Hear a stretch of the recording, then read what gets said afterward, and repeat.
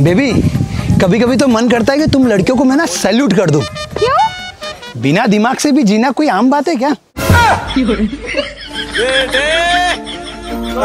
बेटे वाह बेटे वाह।